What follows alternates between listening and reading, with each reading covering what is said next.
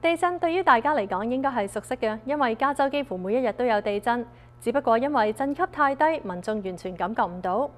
但係最近洛杉磯嘅一次五級地震就再次喚醒咗大家心入面應急自救嘅警鐘。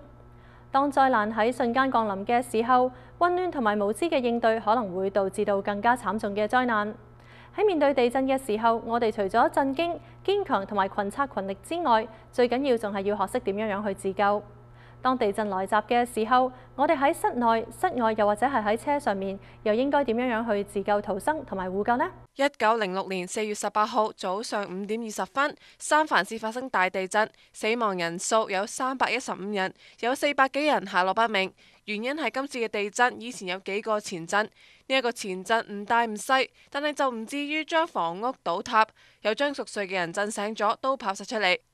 四十几秒钟之后，嚟咗一个八点二五级嘅大地震，挽救咗成千上万嘅生命。呢一个系幸运定偶然，无人得知。但系当地震嚟到，系唔系应该马上逃跑，定系应该以躲避为主？南加州嘅大学地球科学系教授力永剛指，传言话地震嘅时候匿喺门下边系最安全，呢一个观念已经系错误。那么而且我们主张在房间里边的话，你不能乱跑，啊，不要跑出门外去。因为你来不及，除非你是当时的地震发生的时候正好在啊在大门的那个附近的话，我们有个五秒钟原则，就是说你在五秒里边你能够冲出去的，冲到那个空旷地方你跑。如果你估计你尤其在楼上啊什么不可能那个跑跑出门外的话，我们不主张你乱跑了。那个时候你要找一个安全地方，第一个就是刚才讲的是桌子下面。力永光教授指出，一间屋最稳固嘅地方就系内墙。中国多次大地震之后，发现咗房屋嘅外围通常都经唔起震荡跌咗落嚟。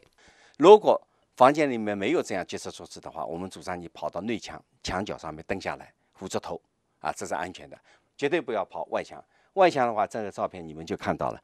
大部分外墙的话都是倒塌了，是吧？你連牆帶人的話，全部就甩下。不過有消防員就指出，南加州政府規定新建嘅房屋必須承受一定嘅震盪，因此大地震嘅時候，房屋倒塌嘅機會並唔大。如果地震嘅時候，市民不幸被倒塌嘅物件壓住，咁市民就應該保持冷靜，等待救援人員嘅到嚟。You know, you want to stay calm, and we do have people in the city of Alhambra, and any community really has trained personnel to go out there specifically for building collapse, and we have specialized equipment and and fire engines to go out there and